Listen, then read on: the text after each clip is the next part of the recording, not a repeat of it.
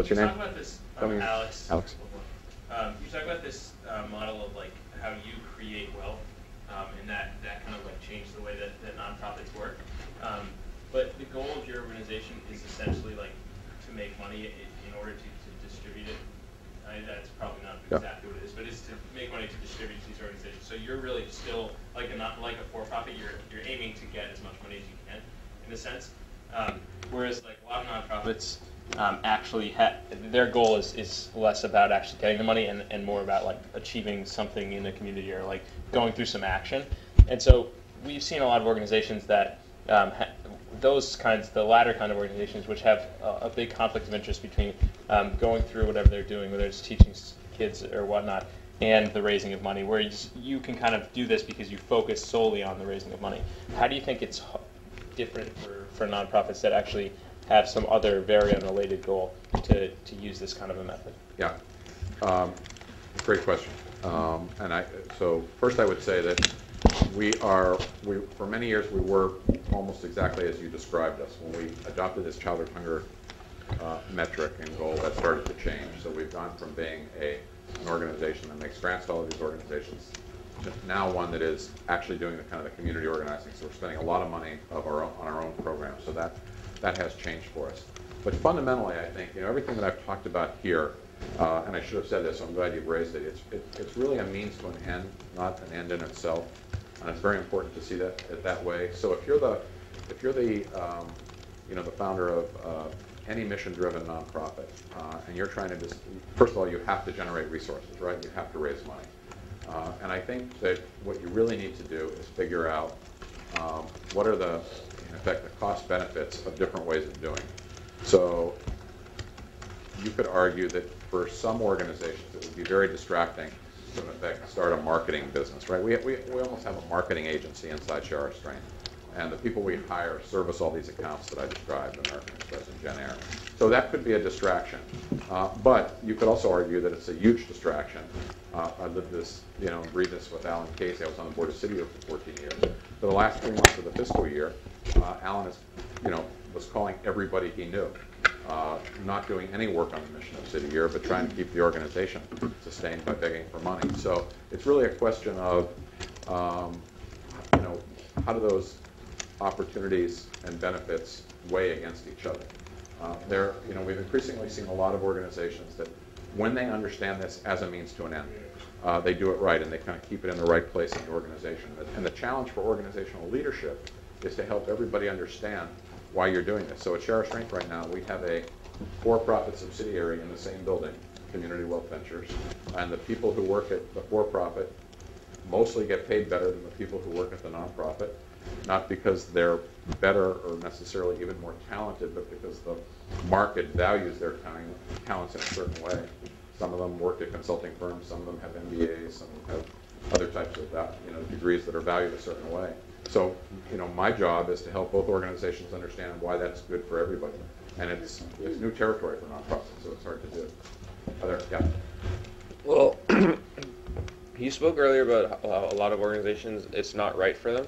Yeah. Um, and especially in establishing a, you know, a revenue generating resource, a lot of times nonprofits, the literature says that they're less, li- they're more likely to keep funding them even if they're not successful. Um, so it's sort of a, a larger risk involved. How would, what are the organizations that are, are primed for these that are not necessarily engaging in revenue generating, uh, activities? That, that could be or should be? Yeah. Well, I would say organizations that are, first of all, they have to be stable to begin with. The, the unfortunate thing about this idea is it looks even more attractive to organizations that are desperate because they think it's, you know, an easy way to generate money, and it's not. Um, Alan Khazei, who's a dear friend of mine, um, I know he's coming in here in a week or so. When, when he when he first understood what we were doing at Share Our Strength, he said we have to do something like this at City Year because I've always wanted to make money while I sleep. Um, if you talk to most business people, they don't feel like they make money while they sleep. They make money when they're at the job 23 hours out of 24. So it's you know it's hard work. Uh, so an organization has to be financially stable, and I think it has to have developed some assets that are just you know, almost you're leaving money on the table. In Washington, there's a, there was an organization, a child care organization, that had served 2,000 low-income families, provided their child care, had to feed these kids a, a, a nutritious meal that met certain federal standards. The kids were spread across 20 sites, about 100 kids a site. So they created a food service facility, a kitchen, to make these meals. And if you ask them how many meals at the end of the year did they serve, they'll tell you 600,000. If you take a food service expert in to look at the kitchen, they'll say, well, that's a shame because this was built to a capacity of a million two meals a year, right? So you've built double the capacity. And your incremental costs of then going out and doing what they did, which was going to charter schools, going to assisted living centers for seniors, going to other child care providers saying, let us do your meals for you. The incremental costs were so small and the profit was so good that in their case it made sense. So, you know, I don't know that I could generalize beyond has to be stable, has to have assets, has to have leadership that's willing to make investments that don't pay off for the long term. I think this is the number one leadership issue in, in almost any organization is can you marshal the support for a vision that requires investments that don't may not pay off in the quarter, you know, may not pay off in the next year.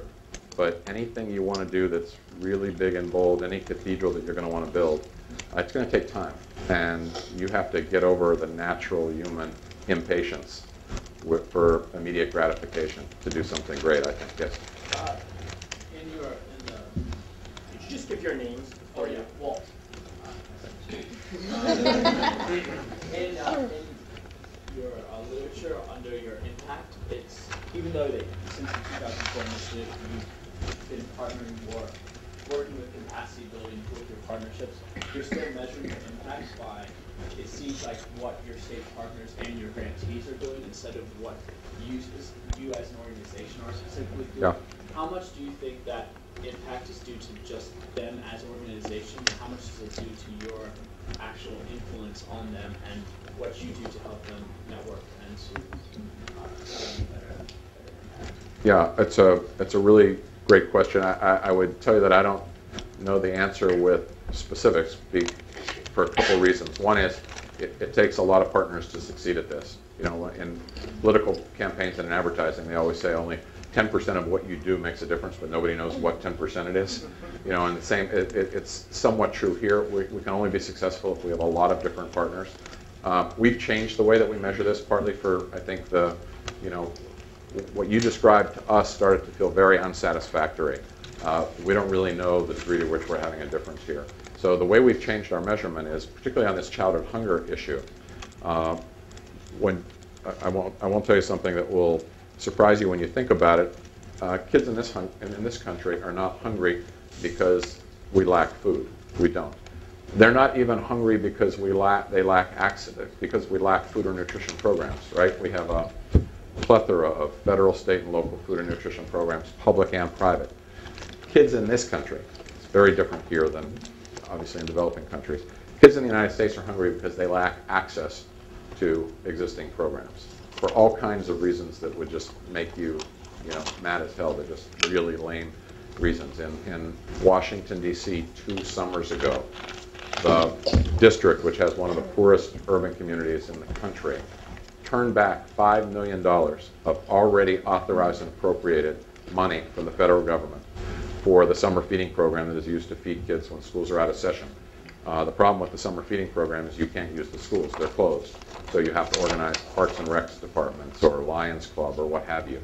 The following year, we spent $35,000 to organize those sites, $5 million. It was kind of a tripwire that brought $5 million back into the district. I tell you this because the gap between kids who are eligible, millions, and kids who are enrolled uh, is pretty significant. And that's become our metric.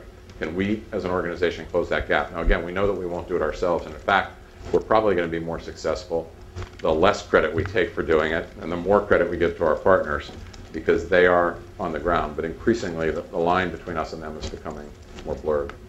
Uh, there was somebody here had a question. Sorry, yes, ma'am. Um, oh, I'm Ingrid, by the.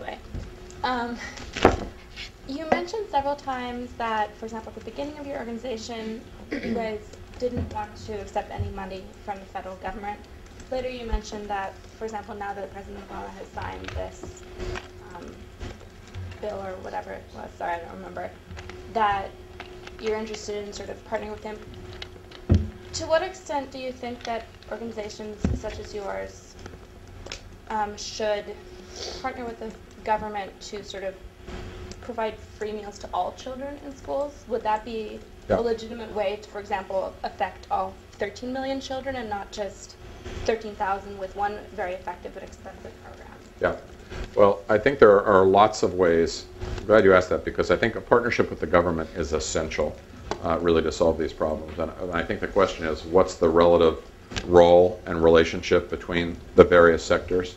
So I would argue that there are things that nonprofit organizations can do that government cannot do. We can take risks. We can be entrepreneurial. We can be closer to the people we serve. We can learn about how things really work uh, in reality, not just in theory. Um, those are Im- important uh, benefits. And we can build programs that uh, the government probably wouldn't take the risk of building. But when it comes to really scaling them up, when it comes to when it comes to making them available for everybody that needs them, you, it is very hard to do that without public support, meaning government support. Um, and so I think there's a you know a role for each. Whether that means we should start to get government money to do what we do, uh, I don't know. I don't know that that is a good idea. I think, you know, at least in the case of our particular organization, I think we're better suited to inventing and innovating and, and doing the kind of things we've done over the last 20 years. But if you can get to the point where President Obama says, we see that these programs work, they need to, they simply need to be, we don't need to invent new ones, we need to make sure that these access issues are solved that I was just describing, uh, then I think there's a, really important role for, for the government there. I don't think you ultimately can do it without the government, but I don't think it means you necessarily have to take government money. Yeah. Hi, Amanda.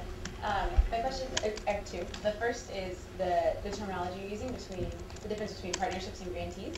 If you could just speak a moment about when that terminology was chosen and how, how much work you're doing within their organizations to consider them partners. Mhm. Um, and then the second is, you talked about, you used your Timberland example, and everything you do, you do with excellence. Um, so I assume that folds down into who you choose as your partners. And I was hoping you would talk a little bit about your metrics for how you choose your partners. Yeah. um, And how well they're doing, what you use. Yeah. I, I particularly like the first part of that question because as a grant maker, uh, we have, as I mentioned, I think 250 grant recipients, and every year in the past, we've always had a couple of them that had come to us and said, we want to be more than a grant recipient, we want to be a partner. Um, and what they really mean by that, that translates into we want to be a bigger grant recipient, right? So if we go from 50,000 to 200,000, we're going to be partners somehow. And of course, I think a partnership has don't both sides get something out of this? Uh, but I think what we've started to do is, uh, uh, and of gets to the second part of your question is, we've started to be a lot more proactive. So at one end, we have this open process where you can apply for funds from Share Our Strength. And over the years now, it's, it's you know, 25 years into this, we know who most of the good, effective organizations are, and it's not, it's not that big a community that that's hard to solve. But increasingly, we've been more proactive in going out and looking for somebody. So when I use partner, I think of it more in terms of, we go to Florida Impact, which is an advocacy organization based in Florida, knows the local legislature, knows the local issues better than we do. And we say, we know that 70% of the hungry kids in this country, 70% of the kids who are not accessing these eligible services live in 10 states, and Florida is one of them. And you're there and we're not, but we have money and you don't. Do you want to partner up and do this together? And together, set the milestones, and together, evaluate our progress, and together decide what gaps we have and what we need to hire for. Uh, So part- that, that becomes real partnership for us. Yes? Um, So you spoke about how Clara Miller said that um, traditional nonprofits who are enterprise blind are often enterprise unfriendly. And I'm wondering if that viewpoint um, has ever hindered your ability to work with some programs that are already in existence. And if so, like how do you combat that kind of obstacle to a synergistic Yeah. like team? Well, it does. I mean, Clara, what, what Clara said was that philanthropy is enterprise blind and therefore enterprise unfriendly. And so when we, to the extent that we meet with foundations, and now that we are older and more established, there are foundations that have come to us and they say, boy, we love the results you're getting. We, you know, we want to consider funding you. So where it does interfere with our ability is most foundations, not all, this it's gotten it's become more progressive uh, over the last few years. But most foundations, and certainly most corporate partners, and certainly most do- donors, they want to fund the hard costs of what you're doing. They want to fund the program. So they want to put all these handcuffs on the dollars that say, don't use it for salaries here, don't use it for headquarters, use it to buy food. We don't need to buy food, there's lots of food in the country. All the food gets donated. You need it for warehousing and refrigeration and transportation and a lot of things like that if it's a private food assistance program. Uh, and, and the hardest thing of all to fund is what I just described as kind of the community organizing that's necessary. That's where the real leverage is, if it's successful. Sometimes it's not, but the idea of we're going to give you money and you're going to go into communities and organize, people think of you holding protest signs or something like that, you know, as opposed to actually working to, in a very sophisticated way, how do you create these sites for summer feeding so that kids, you know, get the $5 million flows in. It's, uh, you don't have long to really explain what you're doing, and people have short attention spans to hear this, but it's not a, it's not a simple solution. Uh, emergency food assistance, food banking, that type of stuff is very simple, but obviously kind of a Band-Aid on a much deeper problem. Um, and so we do see where that kind of philosophy gets in the way. It would be like going into a restaurant across the street and saying, I've noticed you have a few empty tables. So I'd like to order the bacon and eggs. I don't really want to pay for those flowers on the table, and I don't want to pay for the, you know, the, the, the cleaning help. I just want to pay for the bacon, whatever the hard cost of the bacon and eggs are.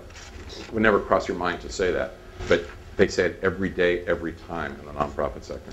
And so, Yeah. oh, Sorry, go ahead. Follow. but like, but what do you do to like kind of get over that? Because you have been able to pull in. Well, I think you, you have to draw a line in the sand somewhere. You have to say, well, then, you know, we can't work from you. You have to be willing to walk away. You have to try to educate, and there are people doing that. There's a very interesting book out right now by a man named Dan Pallotta. It's called Uncharitable, um, and it's brand new. Um, I'm trying to think where he's he's done a couple book parties and events. I can't remember if he's doing one here, but the point of the book is Dan Pallotta invented the AIDS rides and the breast cancer walks. He had a company called Pallotta Teamworks. It was a for-profit company. He made a he made a reasonable amount of money doing it. Some might even say a lot of money doing it. You know, he probably had a salary somewhere between three and four hundred thousand dollars, and people got uncomfortable with that. So I think the the the Avon uh, team decided that Dan, one one year Dan Pallotta helped them raise seventy-one million dollars. They didn't like his four hundred thousand dollar salary, so they fired him. He basically got driven out of the, the business, and he went away for ten years, and he, now he's come back and he's written this book. Uh, the next year, without Dan Pallotta, Avon raised sixteen million dollars instead of seventy-one. Now, so what's the point? Who are they helping, right? But there's this sense of like, man, no way. And that's and that was over three hundred thousand dollars. They were willing to sacrifice fifty million dollars for the research needed to eliminate breast cancer. Okay, yeah. Yeah, so, uh, Justin, by the way, um, you mentioned before competition, and I completely agree with you about competition needing to be a, a greater focus for nonprofits. Um, but it seems to me, and we've addressed it with, with some previous speakers too, that one of the main hindrances to real competition is there's no even playing field because there is no way to measure performance or impact across, you know, different categories of nonprofits. So how do you see nonprofits and funders addressing that issue? Yeah. It's really tough. I mean, there's a lot of intellectual ferment around this very notion right now in the sector. I think a beginning place is the, some of the things that we've talked about, which is saying, you know, at least as an organization, we're going to tell you we're going to accomplish a particular objective. It still doesn't help. I mean, if you have $10,000 to invest in uh, Share Our Strength or Teach for America or, or City Year, there's no apples to apples measurement on what you're going to get back. So I don't know how you do that, um, except probably um, investing in, I think this goes to another question, part of your question, investing in leadership. I mean, so we look, we, we look to make judgments about the leadership of organizations. And, uh, and implicit in that is it's leadership that has a track record of achievement and outcomes. The truth is, things change a lot in the social sector.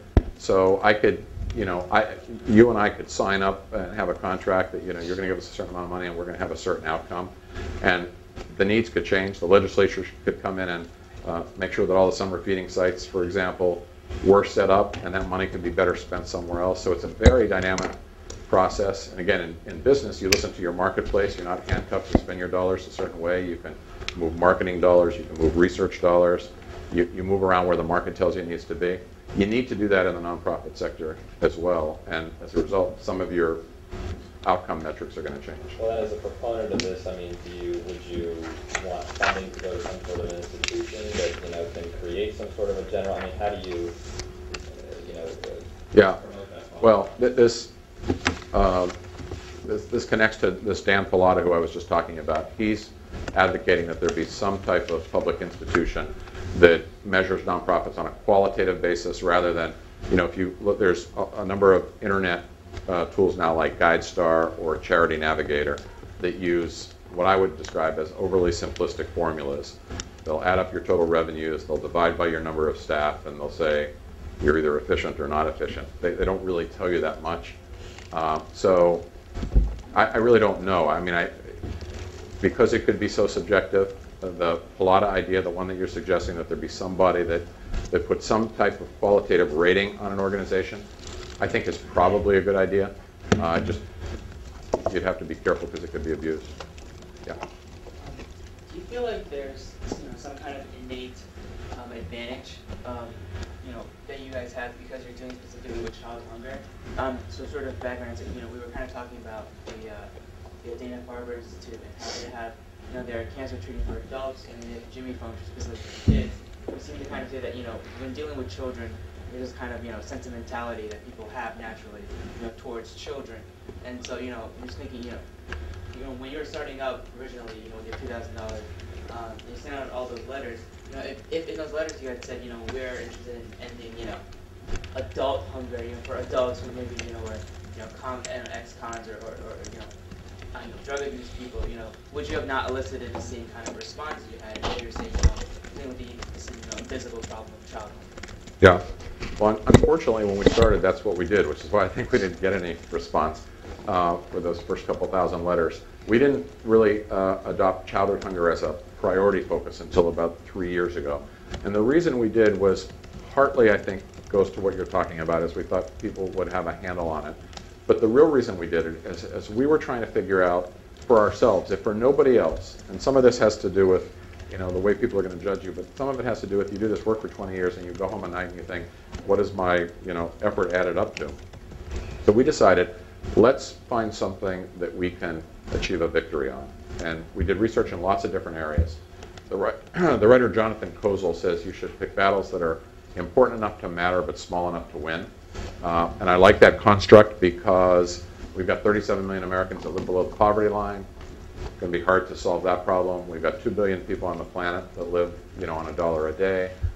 Probably can't solve that problem. So where can we look for something that's important enough to matter but small enough to win? And as we drilled down in all the different places where we worked, we realized that we were actually on the, what seemed like on the cusp of a victory with children.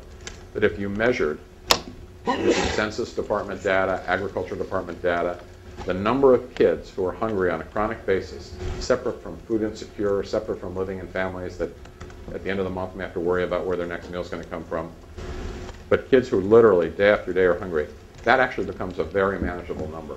Uh, and our belief was, let's win that one, not for the purpose of patting ourselves on the back and going home, but for the purpose of saying, we know how to solve these problems. We're going to go climb the next higher hill. Hopefully, we've got the bona fides and the credibility and the additional resources that come with that if we do succeed. So that was the, that was the thinking. Yes. My name's Sarah Bartolini, and I'm interested in learning more about your decision to work through the sort of high-end culinary industry. Hmm. How, I guess what was the theory of change behind that? Why did you target that industry, and how do you think it's helped you? Yeah. Um, the, so the theory of change, um, which of course we had no such term when we started, or no such idea, um, it, it was really very simple and partly lucky. Aren't Uh, you all the- the- lucky, you see? the- yeah. The, the simple part was, you know, we really did have this sense that we would, um, that they would feel a connection to our issue. And as I said, some of them did, some of them didn't. Some of them were asked to do all kinds of different things, raise money for the zoo, the Kidney Foundation, this and that. Uh, But we thought we could get to the point, point where there would be a tipping point, which we ultimately got to, where so many chefs and restaurateurs had made this their issue that it became kind of the industry's cause. Uh, and partly we got very lucky in the sense that chefs became kind of celebrities and cooking shows started, and there's Iron Chef stuff now, and all that, all this type of thing, and um, and you know, we hit that at just the right time. So whether we would have stuck with this, if we didn't, I don't know. But I'll tell you, the other part of it for me was the notion that the, the, the, the usual suspects were not enough. We didn't want to just kind of preach to the choir. There are lots of great people out there doing anti-hunger work. If there were enough of them, we wouldn't have the hunger problems that we do. So our notion was, let's go out and get a group of people who don't think of themselves as social activists, don't think of themselves as political, don't think of themselves as necessarily able to make a difference in the community, and create a vehicle that will help them see how they can do that. Um, and so we've obviously wanted to do that in other industries as well. We don't feel like we're even finished doing that in the industry we work in. We started out at fine dining. We've subsequently expanded into casual dining and everything from Capital Grille to Cheesecake Factory to P.F. Chang's. They're all now getting involved with Share Our Strength, and they've really fueled our, our growth. Um, and in fact, this model has changed significantly, partly because we needed to, to grow it, partly because it was somewhat limiting, although it served us extremely well, and partly because of the recession that we're now in. Uh, American Express has been a partner of ours for 16 years. For the last five years, they've had a marketing contract with us that was $600,000 for each of the last five years. Uh, this year they came to us and they said, we just laid off 7,500 American Express employees. We just asked the federal government for 3.5 billion. But there's not a single marketing contract in this company that's going to be the same size as it was last year. So let's figure out what we can do with, and they don't expect the same amount of value either, of course, but was like, let's figure out what we can do together for $300,000. So we saw lots of examples of that, and we had to be very agile at looking at, you know, other parts of the industry, because Amex was interested in the high end, and and companies that could use their company not to take money out of their corporate treasury, but give us access to their consumer base. Hickory Farms, cheese baskets and uh, sausages and things like that, really old, kind of tired brand. Uh, they came up with this idea, let's ask our consumers to donate a dollar at the end of a transaction. It's not an original idea. Uh, and Hickory Farms' model, by the way, is to lose money for 50 weeks a year. And then at Christmas, they put kiosks in 800 malls. And in two weeks, they make a very significant amount of money. 177,000 of their consumers did the dollar check off for Our Strength. eBay did a similar thing for us in five days, raised $57,000. So, but we had to really think, we love this model, but we can't stick with it, you know, beyond reason. Yeah. Um, my name is Yosef. Uh, could you tell us about how the brand you created helped you um, get money from all the different sources to the point that they don't care how you use it, they just give you money and you know use it. You know. Yeah. Yeah, uh, well, to us, this is really, I mean, one of the most important issues because, as I said, if, if Evian is getting their marketing value, it would be nice to think that Evian is doing this because they care about hungry kids. Uh, and I believe, and I think I could show you and, and convince you that at the end of their time with us, or even now, there are a significant number of people in Evian who really have personally found a lot of meaning in this, and I think will stay involved as activists. But initially, the contract was, we need to get a certain number of bottles on a certain number of tables in a certain number of restaurants, and if you can do that, we know our sales are going to go up, and that's how we're going to measure this. So that gave us a lot of flexibility. We just did a, uh, Anheuser-Busch has a uh, Belgian brand called Stella Artois. You know, they were just bought by a Belgian company, and they want Stella to be the the the beer. I have to say this right because they're paying us a lot of money. They want this to be the beer that wine drinkers drink. okay, so they want to be in they want to be in 40 of our events, uh, and in fact, they've been in three so far. And there was a huge number of people who came to these fancy events that would just love to have a beer at the end of the evening. Um, and so they're very happy. They're paying us 300,000 dollars, and they really, you know, the, now the people who worked on it said, you know, I've been in the alcohol and beverage business for 18, 20 years. You know, I've always wanted there to be more meaning in my work, so I think they are personally excited about it. But it was a was a very basic corporate marketing decision, uh, and we like that because we feel like it enables us to use those dollars in ways that otherwise might be not well understood enough to use and, and the building the brand was just making sure that we deliver the value back. So, and that's a lot of work. I mean, I don't mean to make it sound like it's easy. I think it's every bit as much work as chasing philanthropic dollars. It's just a different pond that's a little less crowded. Yeah. Hi, I'm Paige. Um, my question is that so the goal of this organization is ideally to end um, hunger for children, but there's also the component of educating children about nutrition and, and making sure they have access to um, nutritional foods. How do you balance the two? Because sometimes providing food for a kid is not necessarily giving them the most nutritious meal. And I understand that you have this program that seeks to educate um, children and their families. But Yeah. how do you ensure that students, or students, that children, I guess, have both? Yeah, Um, great question. I don't know that we have insured it in the past. I mean, We've talked a lot among ourselves. We spend a lot of time in schools and, and really schools in really rough neighborhoods. And uh, I've seen school lunches where I've thought, gosh, there's no way I want to give dollars to expand that program because it could hurt more kids than it helps. We've seen some really, you know, just kind of almost shocking stuff. Um, So, I mean, what we've tried to do is we've tried to build nutrition education into what we do. We've tried to uh, work with companies that are going to improve their uh, nutrition education work. You know, Sysco is an interesting example of a company. Sysco Foods, big company, has these big trucks that supply restaurants with just the basics. Uh, They, uh, over the last probably five years, have cultivated such enlightened leadership inside the company about how they need to just completely change their model so they're transporting locally grown and sustainably produced and things like that. I mean, they've, they've seen that from a business point of view, that's where the world is going. So some companies resist that for as long as they can, some try to get in front of it. So we try to work with the companies that are getting in front of that. Um, and we're also trying to work with, for example, in New Haven, there's a, my sister started Share Strength with me, and she, we still sit next to each other 25 years later, which is whole nother, for a whole nother class. Um, but uh, she's in New Haven today meeting with a chef named Tim Cipriani, who was a chef at a commercial restaurant, now runs the, um, the school food program there, and wants to, you know, work with Share Strength to make sure that exactly the kind of issues that you're talking about are addressed. For so long, the issue was quantitative. There just wasn't, there weren't enough kids getting anything, that there wasn't this focus on nutrition, but it's, it's starting to develop in a lot of organizations now. Yes. Um, my name's Jason Shaw. Your anecdote about cathedral builders really resonated with me. Um, but I feel like right now in social entrepreneurship with phenomena like Founder's Dilemma or when Cheryl Dorsey came in, she said that, I forget the exact number, but tons of nonprofits and new social enterprises are being created every day. Um, probably because people want to start their own thing, not necessarily be that cathedral builder and contribute to this larger cause.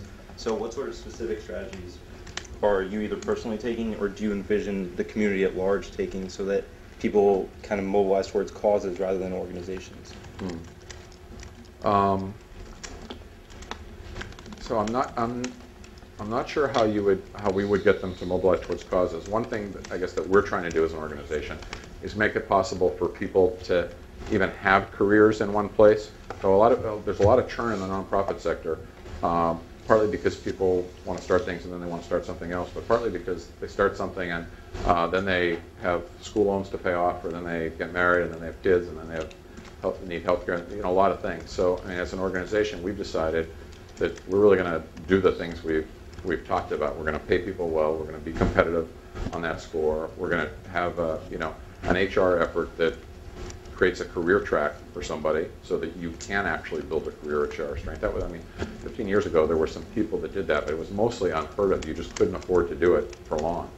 Uh, so I think part of it is financial, and part of it, I think, has to do with this very delicate balance of setting goals that are uh, ambitious and inspiring, like the vision of, the, of, of what the cathedral could look like, uh, but also having milestones between here and there that make them seem not so unrealistic, even if it is going to take 100 years, that it's, it's kind of worth doing today. So I think it's probably more art than science, but it's, it's hard to do. Um, so it seems like a lot of our speakers that have come in have talked a little about sort of how um, having a pretty small office is uh, it makes it hard to reach more people. Can you talk a little bit about sort of your central office and um, how many people you have hired?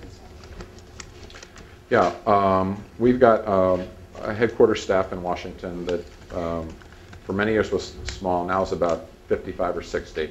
Um, so it's still not, you know, very large. But uh, and then we have uh, there's a couple exceptions. We maybe have three people in the field that are on our payroll. I think one of the things that was different uh, again about our model is the fact that we made chefs and restaurateurs at the core of this. And most of them really feel like they own the organization, that it's their organization. If you ask Gordon Hamersley at Hamersley's Bistro, what's his relationship to Share Strength, I don't think he'd say I do events for them. a couple times a year. I think he'd say that's our organization. But the advantage of having a Gordon Hamersley uh, at your core and, you know, 10,000 like him, uh, is that they have resources. They're successful business people.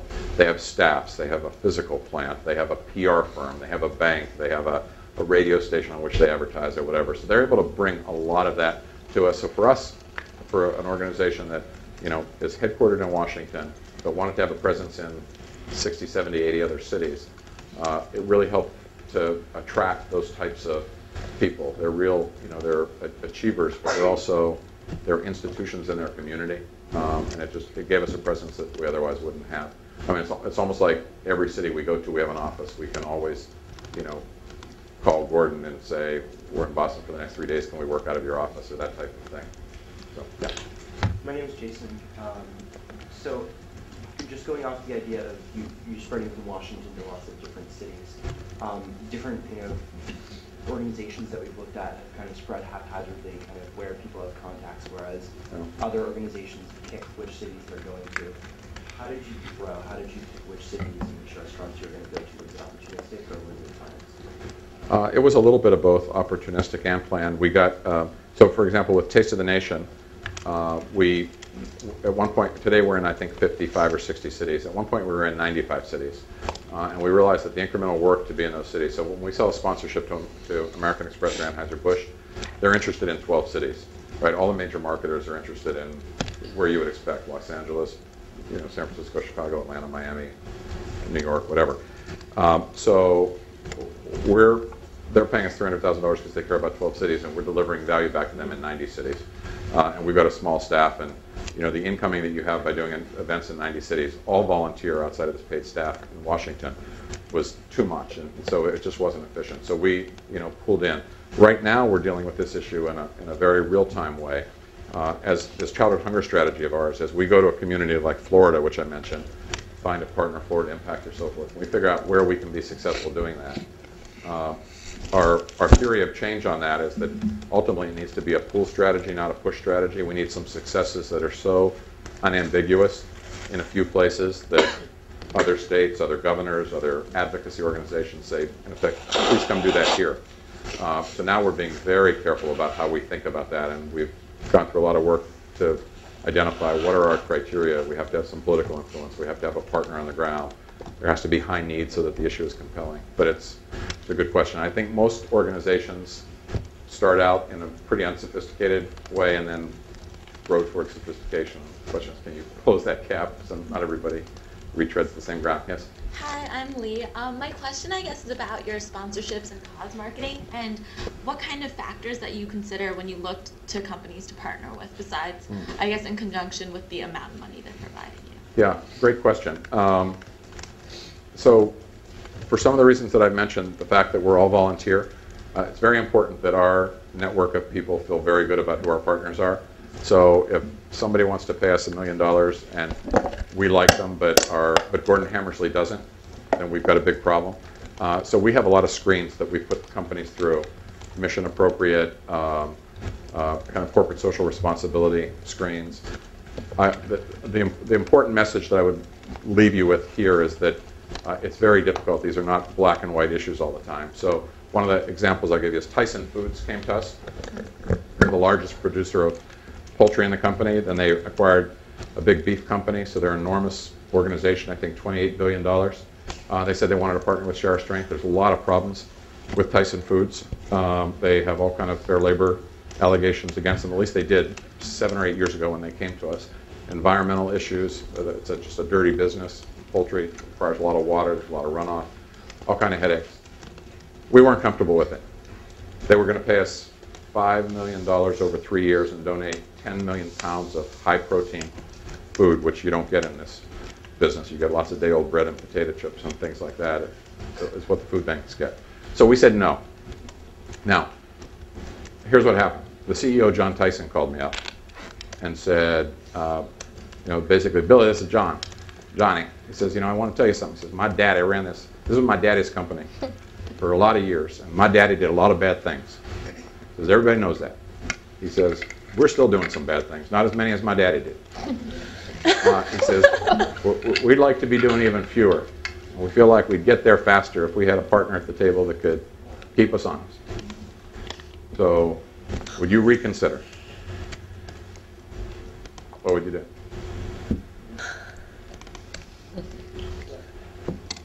Anybody? Yeah. Has to approve it first, I. Okay, fair. Yeah, that's, that's fair. And keep in mind, you can do a lot of good in the world with five million dollars and ten million pounds of high protein food. Would anybody grab it? Take it? Anybody rule it out? Yeah? With a significant trial period and a contract and noticeable change, yes.